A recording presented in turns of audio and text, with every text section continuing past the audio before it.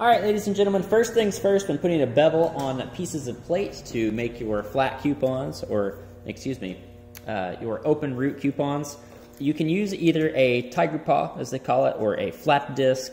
Um, generally, a 60 grit or a 40 grit will hog off that material pretty quick and in a hurry. I've got a couple of old used ones that I'm going to try to squeeze some life out of. Um, and a grinding rock is really good for hogging off all the material on this before you lay into it with a tiger paw but I've only got one good grinding rock left, so I'm going to go ahead and save that. But what we're going to do here is we're going to come in here with our grinder, and so from flat, we're going to take that and we're going to lay it at about a 35 degree angle roughly. And all you're going to do is you're going to run this down back and forth to where you get really close to having the same little edge. I'd say about a 16th of an inch land you're going to bring that down to almost a knife point and make about a 16th of an inch land on it. Now this is also going to vary.